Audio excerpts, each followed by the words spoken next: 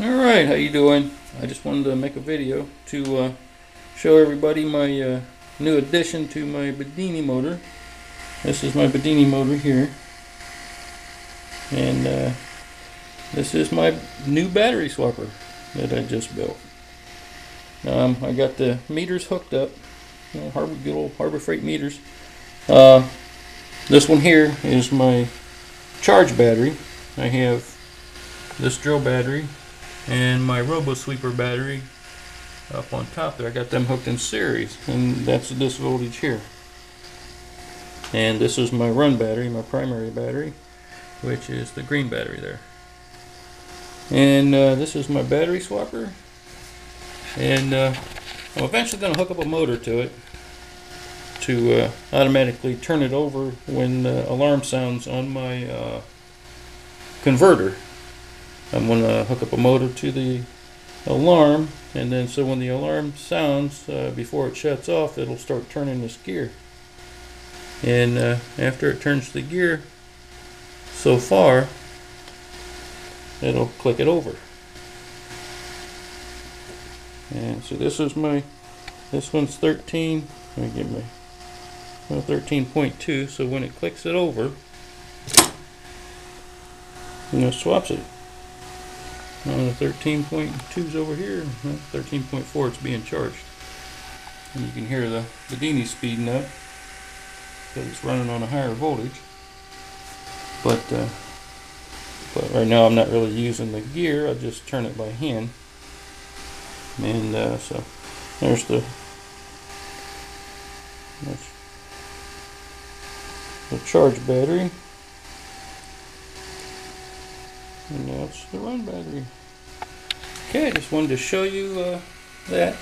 And uh, one nice feature about this, I mean, it makes it so much easier swapping batteries. But uh, it's got the wire here, wire here, in four different places. So all I got to do is turn it in between the two to shut it down. So now you can hear it shutting down. And uh, the meter will show a little bit of voltage until it stops. Here, I'll stop it and show you. And now it's zero. And for my wheel, I just have an eighth inch uh, drill and uh, some magnets on the bottom of my wheel and on the bottom here opposing each other so it hovers and uh, yeah, I don't have any bearings in it yet I'm going to do that soon but uh, runs pretty well without them. So I'll turn this back on. So I got my voltage back and give it a little spin.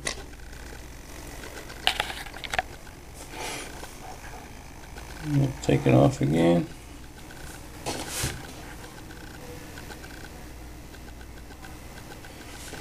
It's amazing how fast it ends up going. I don't know if you can hear it speeding up.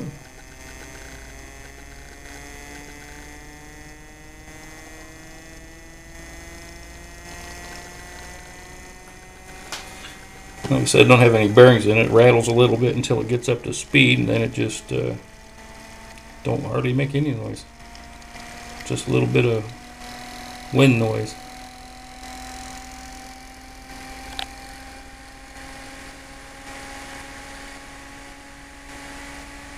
Now, click it over to uh, the charger battery real quick. You see it speeding up a little bit more.